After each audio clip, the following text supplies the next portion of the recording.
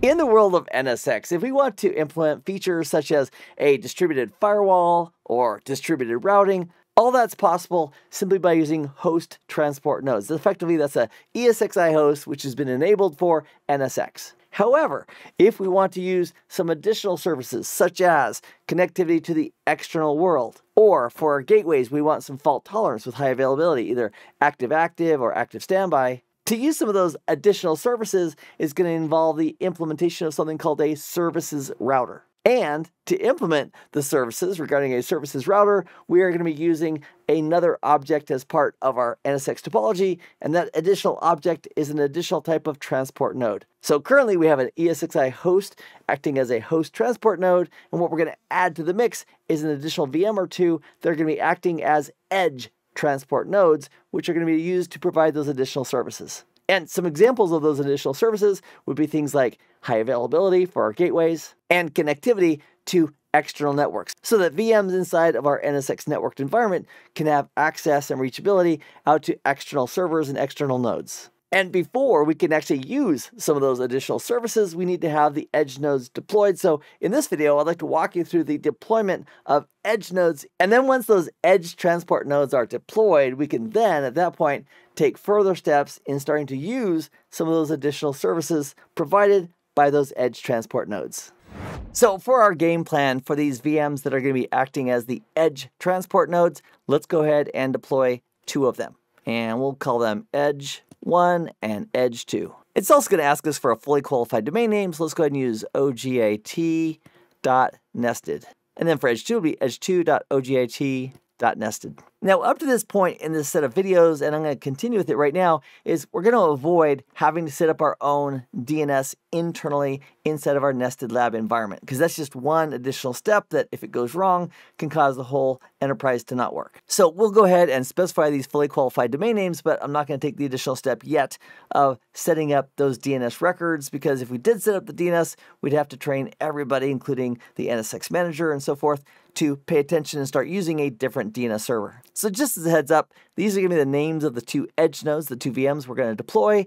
And then on the management network down here, which is my 192.168.1 network, let's go ahead and use the IP addresses of .36 for edge 1 and .37 for edge 2. And so the NSX manager is going to be interacting and communicating with those edge nodes. And again, just to be clear, these are going to be edge transport nodes. Those are the VMs. And again, the differentiation here between an edge transport node and a host transport node is a host transport node is an ESXi host where we've enabled it to support NSX. And then the edge transport nodes are implemented as completely separate VMs. And as a general rule, I want to avoid placing an edge transport node VM on a host transport node. Even though it could support that edge node, I want to go ahead and simply separate them out. So in doing that, let's place these two edge nodes on ESXiC. So that'll be the compute resource. And that'll also help reinforce the idea that these edge nodes as VMs do not, and very likely shouldn't, run on the same ESXi host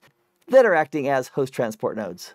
So let me go ahead and draw a little visual representation of ESXiC so we're going to deploy the actual edge node VMs right here from the NSX manager. We'll specify that ESXiC should be the computing resource. It's also going to ask us about the management IP addresses we want associated with them. So we use .36 and .37 on the 192.168.1 network. We're also going to need to specify an uplink profile that's going to specify on the host that they're currently running on which uplinks should they use. So I want to go ahead and use, just for the lab, let's use VMNIC 3.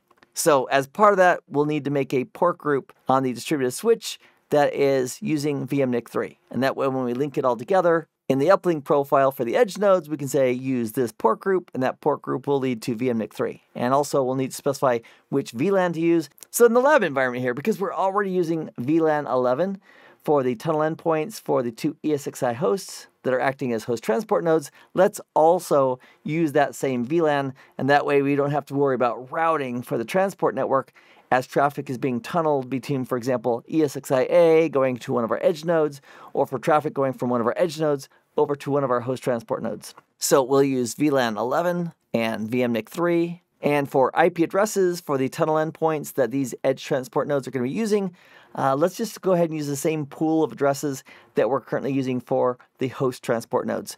And so that's going to be something in the 10.11.11 network. I think the range there we set up was 151 through 200. So when we deploy the edge nodes, we'll simply specify the same pool, we'll specify the same VLAN, and even though they don't have to be in the same VLAN as each other, in the nested lab environment, that'll help avoid the need for routing between different subnets here on the transport network. So with that in mind, let's go over to the NSX Manager and let's begin the deployment of these two edge nodes in our NSX nested lab environment. All right, so we're going to deploy these from the NSX Manager. So we'll log in to the NSX Manager by clicking here on Login after supplying the password for admin. And to deploy the edge nodes, what we're going to do is click right here on System, on the System tab up on top. And with System selected, here we have the system overview. So we have one NSX management node, that's our NSX manager that we're currently using. And we have two ESXi hosts that we've enabled with NSX, which makes them host transport nodes. And if you'll notice also, we have absolutely zero at the moment edge transport nodes, but we're about to change that. So to add or deploy edge transport nodes, here on the System tab on the left, we'll go over to Fabric and expand that if it's not already, and then we'll go down to Nodes. Also, VMware from time to time may move where things are as versions of NSX continues to go forward. However, the concepts are the same. So we're going to go here to the nodes in this version of the NSX Manager, and with nodes selected, we're going to click right here on Add Edge Node. So let's go ahead and call this edge1.ogit.nested, and then we'll also use that as the fully qualified domain name, so we'll paste it there. And then it's asking us for the form factor, which equates to how much CPU and RAM are we going to throw at it. And also I want to point out that by default, it wants to reserve 100% of whatever we allocate to it for RAM. So if you are in a nested environment with limited capacity, you may want to crank that back to 25% or 50% or choose a smaller form factor. But on my current hardware, I've got 256 gigs of physical RAM on the ESXi host that we deployed early on in the series. And so I'm going to go ahead and take the medium form factor and leave the default 100% reservation for this edge node that we're deploying. So we'll click on next to continue. So I'll go ahead and specify and confirm those passwords. I'm also going to specify that I want to allow direct console access via SSH, logging in as admin or as root. And that way, if we need to connect directly to these edge nodes as VMs and take a look, we can do that. So with that in place, we'll click on Next. Now for the deployment of these VMs, we need to know where to put them. So we're going to use the dropdown. And because the NSX Manager already has a relationship with this vCenter, we'll go ahead and select it from the list. And that's why it's showing up here is because the one we previously associated with NSX Manager. And then as far as the cluster, we want to put this on ESXiC, and that is in the cluster called non-NSX hosts. So let's pop over to the vSphere client just for a moment and confirm that. So back here at the nested vSphere environment, we'll click on login and we'll go to our host and clusters view. And here's our host transport nodes with A and B. And in the non-NSX hosts, there is our ESXiC right there. And we're going to make that the home right here for our new edge node. So we'll go back to the NSX Manager. And if you have a resource pool that you want to associate with, you can do that as well. I don't, so we'll go ahead down to host. And from the host, we'll select the only host there, and that is ESXiC. So we'll select it, and then we'll specify where we want to store the files. And so we could choose either of the data stores that are located on ESXiC. So let's go ahead and choose the first one, and we'll click on Next. Now, regarding the management IP address for this edge node, we're going to use IPv4. Based on our plan, we are going to use the static IP address of 192.168.1.36, and that's on a 24-bit network. And then we'll go ahead and specify the default gateway, which is 192.168.1.1. And then we're going to specify the port group on the existing distributed switch on ESXiC that we want to use for the management interface on this edge node. So we'll click here on Select Interface, and I have a beautiful port group right here called Nested Management to 192. That's going to be perfect. We'll click on Save, and then we'll put in a public DNS server of 8.8.8.8, and then we'll put in a public NTP server, or at least the name that leads to an NTP server, and we'll use 0.northamerica.pool.ntp.org, and then we'll click on Next to continue. So as we continue the deployment here, it's asking us for the edge switch name, and that's really an older thing that we don't need to configure. So when we hover here on the information icon, it's just letting us know that that's been deprecated. We don't need to specify any value here. But what we do need to specify is which transport zone or zones we want this edge node to support. So in our lab, we have two transport zones, one for overlay segments, one for VLAN back segments, and I want to make sure that this edge node can support and be part of both of those. And then for the uplink profile, if we click on the dropdown, I did not create an uplink profile that specifies VLAN 11 and VMNIC 3. So what we can do right here is we can simply create one on the fly. So instead of going over to profiles and then creating it,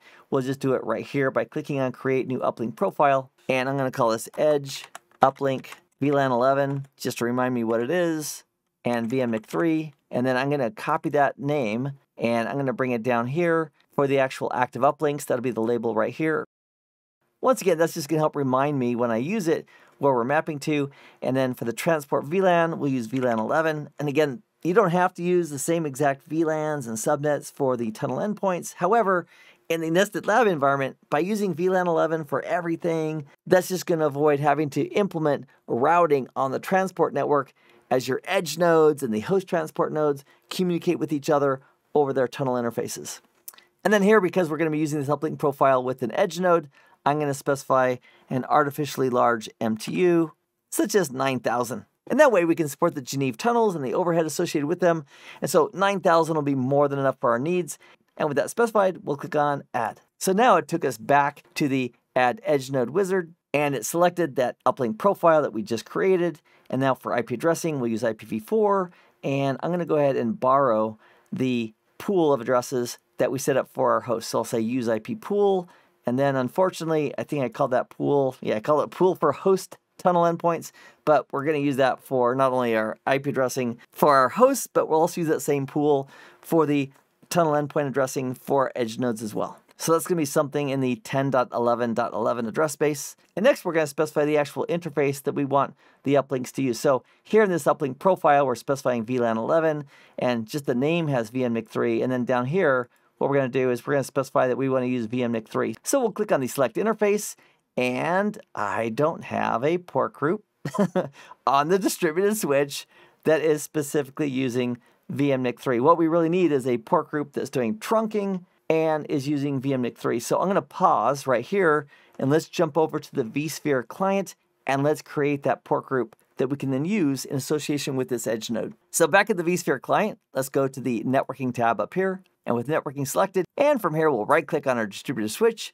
we'll create a new distributed port group, and I'm going to name this PG for Edges VMNIC 3, and that way we'll know exactly what this is doing. So we'll click on Next, and we want this to be set up as a trunk. So I'm to set up VLAN trunking. And then from the profile, it's going to specify regarding that trunk which VLAN to use, which is going to be VLAN 11. So again, the port group is going to support trunking. And then we're to scroll down. And I want to take a look at all the other attributes as well. So we'll click on Next. And I want to allow for MAC address changes and forge transmit and enable MAC learning and click on Next. I'm going to leave traffic shaping untouched, click on Next. And then for uplinks, I just want to use uplink 3. So I'm going to take 0, 1, and 2 and move them down. So the only available uplink is uplink VMNIC 3. So we'll click on next and next and next and finish. And then we'll check our work. So I'm going to click on the actual distributed switch, click on configure, and click on topology just to verify our work. And so here is our port group that we just set up. And it is mapped over exclusively to VMNIC 3 on each of our hosts. So now, if we associate the edge node with this port group, it'll effectively be using VMNIC 3 on ESXiC, which is the host supporting this edge node. So let's go back to the NSX manager. And from here, because we just created that port group that maps out to VMNIC 3, we're going to click on refresh right here and it should show up. There it is. And so we'll select it and click on save. So just as a reminder of what we just configured for the transport network, we specified this uplink profile, which specifies the VLAN. We specified IPv4 and use an IP address from the pool. And then for the actual uplink to use, it's going to use the uplink associated with this port group right here, which is the one we just created. So we'll click on finish. And in the background, NSX Manager is now in the process of deploying that VM over on the ESXi host. So we'll click on refresh here and away it goes. And if we go over to the vSphere client and look at recent tasks, we can actually see, let me go ahead and look at running tasks. We can see that there's an OVF template being deployed. And that OVF template is the NSX Edge Node VM that's being deployed by the NSX Manager. All right, let me thin out some of these columns. I'll click on columns. Let me remove ID. It's being deployed as a virtual machine. That looks a little better. Let me go ahead and size out these columns a little bit to make it a little more readable. And that deployment could take anywhere between 30 and 45 minutes. So while this deploying the initial edge node here, edge 1, let's go ahead and deploy the second edge node, which will give us some fault tolerance. Effectively, we're going to deploy a second VM, and for that second VM, it'll have almost all the similar properties except for the management IP address will be .37 based on our plan. So we'll click on Add Edge Node. We'll call it edge2.ogit.nested. We'll copy that and put that in as the FQDN as well. We'll use Medium as well. We'll click on Next. I'll supply the passwords and confirm them for admin and also for root. And I'll also specify we want to allow SSH logins for both directly to the VMs, these edge nodes, and we'll click on Next. As far as where to put these VMs, we'll go ahead and use this vCenter. And on that vCenter, we'll use this cluster called non-NSX hosts. And then we'll go ahead and specify the actual host. There's only one there. This is ESXiC. And for the data store, let's put this on, let's put it on the same data store right there. They're all virtualized anyway, so it won't really matter too much performance-wise. If we put one edge node on data store A and the other on data store B, it's not really going to matter because it's all virtualized. So we'll put the files for this edge 2 on that same data store and click on next. Then we'll specify we want a static IP address for management, and based on our plan, it's 192.168.1.37 with a 24-bit mask, and the default gateway is 192.168.1.1. And then as far as which port group to use in association with this management interface on this Edge 2, let's go ahead and click on Select Interface. We want this port group right there that goes to my management network. We'll click on Save, and then for DNS servers, we'll give a public DNS server of 8.8.8.8. And for time synchronization, we'll also use some public NTP servers. And that'll do it right there. Fantastic. And then we'll click on next. So in step five here, once again, we're going to be taking a look at the transport node configuration. So as far as the transport zone, we want to support both transport zones for this second edge node.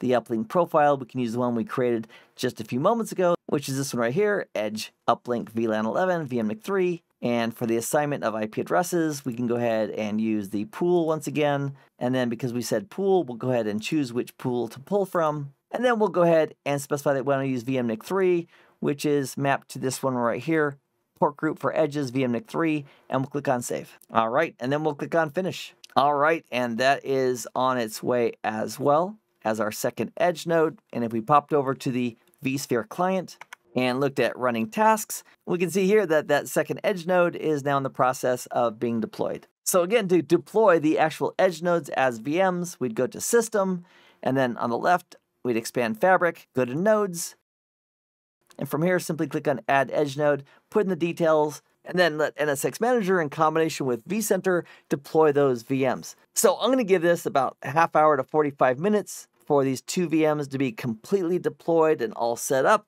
And then once they are, we can continue by starting to take advantage of the features that these edge transport nodes bring to the table. And that's what we'll continue in the next video. So when you're ready, I'll see you, my friend, in that next video.